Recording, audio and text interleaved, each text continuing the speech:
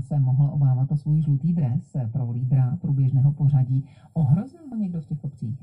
No zvláště v tom posledním se na něj soupeři snažili dost vehementním.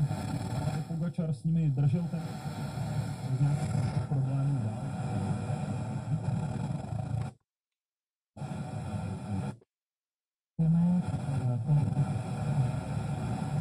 Deseti